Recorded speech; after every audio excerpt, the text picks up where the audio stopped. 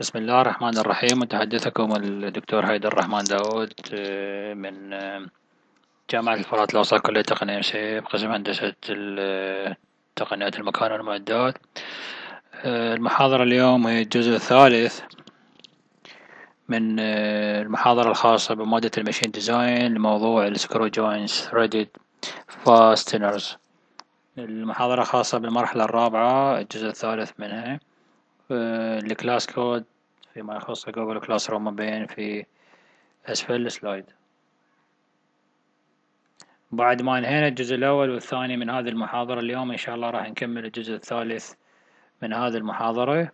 والجزء هذا تحديدا خاص بالفقرة الثامنة والأخيرة من من هذا ال chapter آه، والمتعلقة بال bolted joint under eccentric load اللي هي البراغي اللي تتعرض إلى تحميل غير متمركز.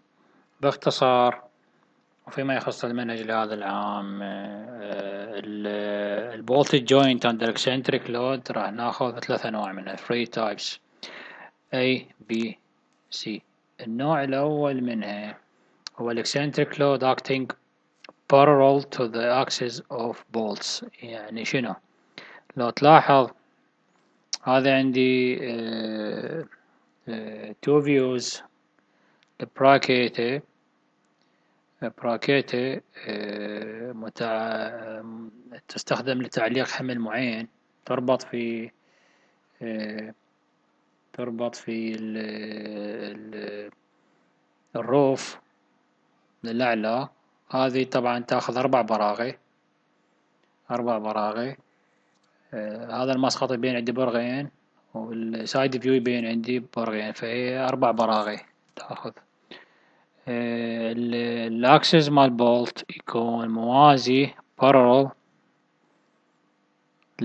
لل axis مال load هذا هو ال axis مال load شوف الاتجاه الأسفل وال axis مال البراغي يظل الأسفل فيكون متوازية آه، شو يصير التحميل على البراغي هنا؟ البراغي هنا إذا نتخيل إنه هذا ال load راح يحاول يقتلع هالبراغي الأربعة كلها. مرة واحدة by tension by tension إيش راح يصير بهالقطعة؟ كلها راح تنزل عندي للأسفل مثل ما نشوف. كلها عندي راح تنزل للأسفل. فالفشل الأول اللي تعرض له إنه كل البراغي under direct tension الاحتمال الثاني إنه مو كل البراغي يصير بيها failure by tension أو by tensile لأنه قسم البراغي لا يعني يفشل نتيجة ال twist لأن هذا ال load بعيد عن مركز الدوران بمسافة مقدارها L مركز الدوران بمسافة مقدارها L okay؟ ال load مو مركزي ما يمر بال centroid مال البراغي بعيد عنه بمسافة مقدارها L لذلك يكون عندي راح يولد عندي ال W في L twisting moment هذي وال twisting moment شو يسوي؟ لي يسوي لي twist على البراغي. وهذي النوع الثاني من التحميل اللي يكون على البراغي. فهذا عندي direct tensile وهذا indirect tensile يعني شد مباشر. هنا وشد غير مباشر هنا. النوع الثاني من ال eccentric load acting perpendicular to the axis of bolt اللي هو شنو؟ هذا عندي two views لهاي ال brackets ال load هنا نحو الأسفل بينما ال axis مال bolts تكون عمودية عليه. عمودية عليه. هنا كانت ال axis موازية بينما هنا ال axis عمودية على ال load.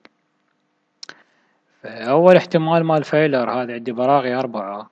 تتعرض للبراغي إنه كل البراغي يصير بها direct shear كلها تتعرض إلى قص مباشر شو يصير بهالقطعة؟ كلها تنزل وين؟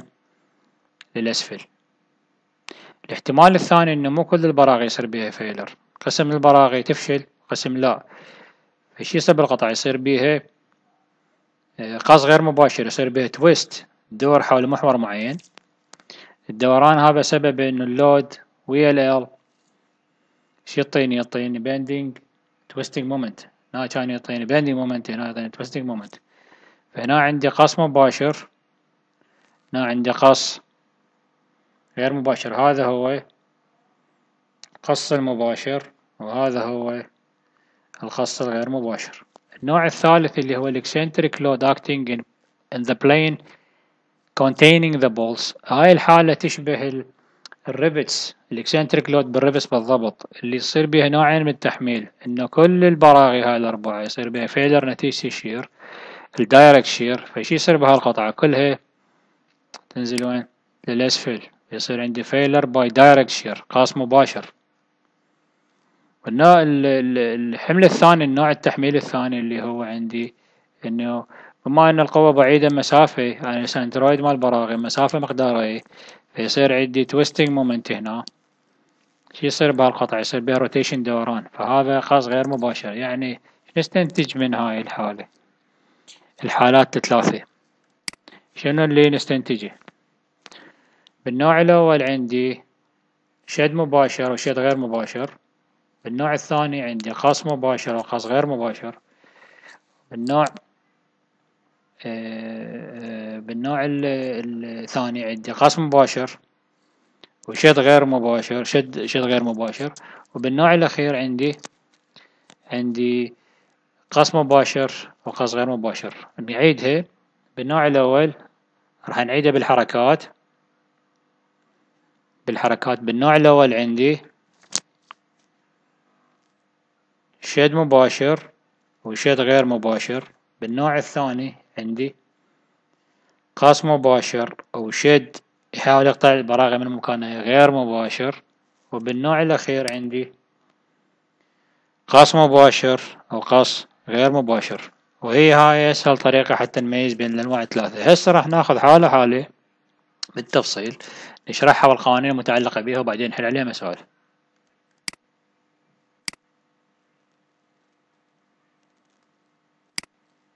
نجي على النوع الأول اللي هو ال eccentric load acting parallel to the axis of the bolts. اللي اللي ال load عندي شنو؟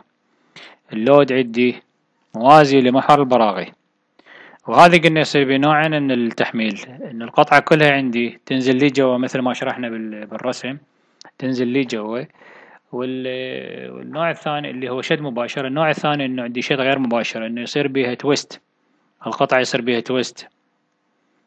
باتجاه مركز دوران نتيجة ال W في L اللي هو ال twisting moment اللي يسوي لي شد غير مباشر. فعندي شد مباشر وشد غير مباشر. شلون إن القوانين الخاصة بهذه؟ معظم ال معظم ال الأسئلة تتمحور حول إيجاد ال load. أو ال d core اللي هو ال core diameter للبرغي. قطر ال core diameter للبرغي. يعني أنا عندي أربع براغي. أربع براغي. آه واحد اثنين واللي من الجهة الثانية عندي ثلاثة أربعة. okay؟ أول شي عندي شد مباشر راح أسميه WT 1 اللي هو ال direct ال direct tensile اللي هو شد مباشر. شي يساوي لي هذا؟ يساوي لي القوة الخارجية W هاي القوة الخارجية. مقسومة عليه من عدد البراغي بهاي الحالة عندي أربعة. و n is the number of bolts n هي عدد البراغي هاي راح أسميها WT 1 كم برغي عندي؟ أربعة. الثاني اللي هو الشد غير مباشر. الشد الغير مباشر شلون نحسبه أول شي من يجيني الشد الغير مباشر؟ مثل ما شرحنا بالأسئلة القبلة إنه عندي twist بهالاتجاه اللي هو W مضروب في شنو؟ في ال القوة في الذراع. في الذراع. القوة بعيدة مسافة. هذا يسوي لي twisting moment هذه ويأثر لي يسوي لي شد غير مباشر. The moment due to the load W about the tilting edge tilting edge هذه حافة الدوران W في لازم هنا نحدد شيء اسمه نقطة أو محور الدوران. هذا هو ال axis of rotation هنا يبين عندي نقطة. يبين عندي نقطة. يعني هاي إذا رسمتها البليتة هذه. وهاي البراغي الأربعة okay. بس خلينا يعني في ال diagram بسيط حتى نوضح الموضوع. بشكل مفهوم أكثر. وهذا عندي ال bracket هذا okay. وهذا عندي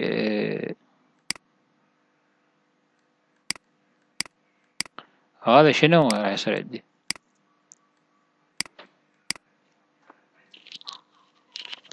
هذا هو ال axis of rotation القطعة كلها راح تدور حولي. كل القطعة راح تدور حولي. okay. فال W في L هي ال twisting moment اللي راح يسوي لي الشد الغير مباشر. هذه حسبنا نحسبها بهالطريقة هذه. نجي على هذا ال parameter W اللي هو يشبه إلى حد ما الشيء اللي شرحناه بموضوع ال rivet. W في L مقسوم على حسب الكتاب المنهجي مخلي لك اثنين في L1 تربيع زائد L2 تربيع هاي مين جاية بالحقيقة بالمقام انت عندك هنا WL اللي هو القوة في بعدها عن عن مر عن عن ال axis of rotation محور الدوران اللي شرحناه هنا كم برغي عندك؟ عندك أربعة معناها شنو؟ L1 L2 زائد L3 زائد L4 هذا طبعا كلها شنو؟ كلها تربيع. كلها تربيع. شنو هاي؟ ال L هي بعد البرغي عن محور الدوران. يعني في حالة البرغي الأول يعني على فرض أن عندي هذا البرغي رقم واحد وهذا رقم اثنين وهذا راح يصير ثلاثة وهذا راح يصير أربعة. okay؟ فعندي البرغي الأول يبعد عن محور الدوران مسافة مقدارها L1 L1 منو يشبه عندي بعد؟ البرغي الرابع. فعندي L1 و L4 مساوية نجي على البرغي الثاني بعد ال axis مال البرغي عن محور الدوران هو L2 من يشبه عندي بعد؟ البرغي الثالث. فعندي L2 و L3 مساوي. فسويت L1 L2 بقيت تربيع وخليت اثنين خارج قوس هاي الفكرة. إذا ساوت الأطوال هاي نسويها. إذا ما ساوت الأطوال لا. هذا ال factor نخليه على صفحة. يبقى إيش نختار يا برغي نحسب الشد الغير مباشر أنا اللي يهمني بالشد الغير مباشر البرغي اللي يتعرض إلى ال maximum indirect tensile وهذا منين نجيبه It may be noted that the most heavily loaded balls are those which are uh, suited at the greatest distance from the tilting gauge يعني هنا إيش يقول لك in this in the case discussed above the bolt at distance L2 are heavily loaded. إيش يقول لك هنا كل ما البراغي البراغي البعيدة عن محور الدوران هي تكون الأكثر تحميلا بالشدة غير ابتدائي وبهاي الحالة هي البراغي البعيدة عن محور الدوران هي البرغي اثنين والبرغي ثلاثة اللي تبعد المسافة L2 مثل ما مذكور هنا. A tensile load on each bolt at distance L2 الشد الغير مباشر على البراغي اللي تبعد المسافة مقدارها L2 شو يساوي لي؟ ال WT2 راح نسميه هنا. ميز. هذا الشد المباشر هذا الشد الغير مباشر. أو راح نسميه W2 بس أنا أفضل أبقي WT2 على مود ميزي إنه هو الشد الغير مباشر هذه. وال T1 نعطيها للشد المباشر. يساوي ال W هذا ال parameter اللي هو اللي يساوي لي ال twisting moment على الأطوال مجموع الأطوال تربيع. في بعد أبعد برغي عن محور الدوران. اللي هو بحالتي هنا اثنين برغي اثنين أو برغي ثلاثة. okay؟ بعد أبعد برغي عن محور الدوران ل axis of rotation. هذا اللي شرحناه قبل شوي شوف هذا ال parameter هو هو هنا كل اللي ضفت له L2 إذا ال W total ال total tensile load on the most heavily loaded يساوي الشد الابتدائي على الشد الثانوي. شلون نحسب قطر البرغي d core؟ اللي هو W T total يساوي pi على أربعة d core تربيع في sigma t وهذه هي جاية من من إنه sigma t يساوي ال load الكلي اللي هو جاي من ال primary tensile وال أو ال direct وال indirect tensile مقسوم على المساحة اللي هي pi على أربعة d core تربيع. هاي ببساطة هي فكرة النوع الأول من التحميل إيه، طبعا راح نحل عليه مثال هذا. مثال هو يعني يشبه الفقرة اللي شرحناه قبل شوية The bracket as shown in figure هذه supports a load of 30 kN هاي ال W قد قيمتها 30 طبعا الرسم يعطى بالسؤال. يعطى. 30 كيلو نيوتن Determine the size of the bolt if the maximum allowable tensile stress the bolt material is 60 megapascal انه آه، جهاد التنسال المسموح به هو 60 ميجا باسكال the distances المسافات هي L1 80 L2 250 وال L اللي هي بعد القوة عن هاي المنطقة هي آه، بخمسمية. طبعا هاي الأطوال إذا إذا مطيك إياها بالسؤال اللي هي تفيدك okay. بس بعض الأسئلة ما تكون هي دائما اللي أنا أستخدمها بالحل. لازم أحسب الأطوال اللي هي لازم أول شي نسوي نحدد آه، محور الدوران ونشوف بعد البراغي عنه أو بعد القوة عنه أول شي نسوي نحسب الشد الابتدائي. طبعا نجي نشوف هذا ال case إنه ال load ال load عندي موازي لل axis مال مال البراغي يعني الاحتمال الأول هذا إن القطعة كلها شبيه كلها تنزل لي جوا يصير direct tensile والاحتمال الثاني إن القطعة كلها شوية يصير بيها يصير بيها rotation بالاتجاه هذا. فعندي آه، شد ابتدائي آه، شد آه، شد مباشر وشد غير مباشر. شد المباشر شلون احسب ال load الخارجي على عدد البراغي اللي هي أربعة؟ ثلاثين على أربعة سبعة ونص كيلو نيوتن. هذا الشد الابتدائي على كل برغي. بما انه شد غير ثانوي فعندي محور دوران اللي هو هذا axis of rotation إنه قطع الدور حوله فنحدد الأطوال بعد البراغي عن عن محور الدوران. هنا عندي L1 هنا عندي L2 اللي هي أصلا معطاة عندك بالسؤال. معطاه معطاة عندك بالسؤال. حددنا الأطوال وحددنا مركز الدوران. نحسب هذا ال parameter W. اللي يساوي لي W في L. اللي هو بعد القوة عن ال axis of rotation على الأطوال وحكينا ليش هنا أخذناه اثنين. لأن عندي الأطوال متساوية البرغي واحد والبرغي أربعة والبرغي اثنين والبرغي ثلاثة اللي شرحناها بالمثال السابق. عندي الأطوال معلومة. نحسب هذا ال parameter ال W أبعد برغي عن محور الدوران هو البرغي الثاني والبرغي اللي بالجانب الثاني برغي ثلاثة فهي ال L2 هذا ال parameter عندي محسوب L2 أيضا عندي معطى فممكن نحسب الشد الغير مباشر. إذا جمعناه جمع جبري الشد المباشر والشد الغير مباشر نحصل على W T. هسه نطبق القانون اللي هو W T يساوي لي المساحة في ال sigma t المعطاة عندي بالسؤال. نطلع منه ال d core يطلع عندي سبعة وعشرين point مليم هذا إذا رحت لل table dash واحد اللي شرحناه بالمحاضرة الأولى ما راح نلقي آه، هاي قيمة standard القيمة ال standard هي ثمانية وعشرين point seven oh six point seven oh six اللي قابلها M ثلاثة وثلاثين. إذا ال bolt المناسب لهيج نوع من التحميل هو M ثلاثة وثلاثين. النوع الثاني من ال eccentric loaded bolt joint اللي هو قلنا يصير ب إن القطعة كلها تنزل إلى اسفل يصير بقص مباشر وبعدين القطعة يصير بها شنو؟ rotation يصير بيها آه، شد غير مباشر. وهذه الحالة إنه البراغي ال axis مال البراغي يكون عمودي على اليمين على ال load. عمودي على ال load. شلون نحل هاي النوعية من الأسئلة؟ القص المباشر كل البراغي عند القطعة تنزل لي جوا مثل ما شرحناها بالسلايد اللي بي ال animation تنزل لي جوا okay؟ آه، يجيني منين إنه الشد على كل البراغي الأولي هو ال load الكلي على عدد البراغي. النوع الثاني من التحميل اللي هو اللي هو يصير عندي tensile load لأن القطعة يصير بها rotation فيحاول يقتلع البراغي بشد غير مباشر.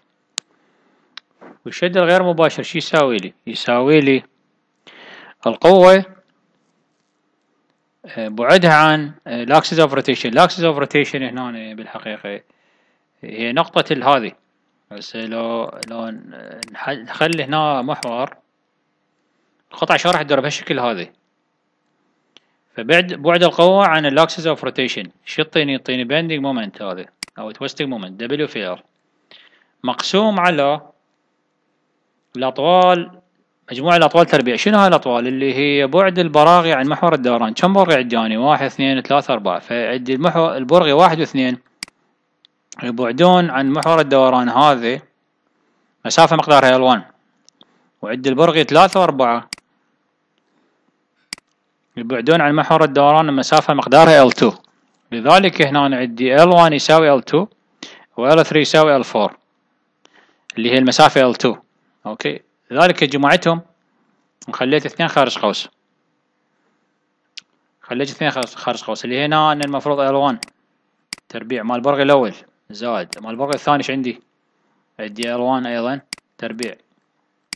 مال البرغي الثالث اللي هو L2 بعده عن محور الدوران L2 تربيع زائد البرغي الرابع كذلك بعده L2 خلي شنو L2 تربيع. فخليت اثنين خارج قوس.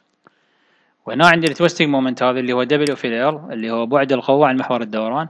مضروب في بعد أبعد برغي عن محور الدوران. أبعد برغي ال maximum tensile load on the bolt ثلاثة وأربعة اللي هي أبعد براغي عن محور الدوران. بعدها عن محور الدوران هو L2 هنا طلعت أنا الشد الغير مباشر. فهنا صار عندي ال direct shear وعندي tensile. حتى نطلع المحصلة مالتهم نستخدم الكومباوند الايكوفالنت تنسايل لود الايكوفالنت تنسايل لود الدشير وعندي تنسايل. فهنا عندي compound stress صار عندي. ال WT اللي هو ال equivalent tensile load يساوي نصف في WT WT طبعا ما عندي هنا سميته T 2 حتى أميزه عن ال ال آه، آه، حتى أميزه عن الشد حتى أميزه عن الشد الابتدائي لأن هذا شد ثانوي. بس ممكن أكتب WT هنا أني. ماكو مشكلة. تحت الجذر WT تربيع زائد أربعة WS تربيع. القص المكافئ أو equivalent shear load هو النصف الثاني من هالمعادلة. اللي هو نصف تحت الجذر WT تربيع زائد أربعة WS تربيع. من هاي المعادلة ممكن إحنا شو نطلع؟ ال size مال bolt ال dc المطلوب بالسؤال. هسه راح نشوف بهذا المثال. آه المثال عندي هذا bracket. bracket آه عليها load مقدار 12 كيلو نيوتن for supporting the traveling crane in the workshop. The bracket are fixed on steel column as shown in the figure طبعا هذا داعش ثلاثة خمسة وثلاثين لأن هو مثل ما تعرفون بخور من الكتاب المنهجي هو chapter 11 فهذا figure رقم خمسة وثلاثين the maximum load that comes on the bracket is 12 k newton هذا اللود المسلط acting vertically at distance 400 ملم from the face of the column المسافة منها لهنا 400 uh, of the column the vertical face of the bracket is secure to a column by four bolts هاي أربع براغي برغي هنا بالفيو الثاني عندي برغيين from the face of the column the vertical face uh, okay uh, by four bolts in two rows two in each row يعني هنا اثنين وعندي اثنين من الجهة الثانية الفيجر وبالعادة يعطيك مسقطين يعني مسقطين of a distance of 15 mm from the lower edge of the bracket عندي من هنا لهنا عندي 50 ملم determine the size والمسافة من هنا لهنا هي 375 ملم من هاي الحافة طبعا من هاي الحافة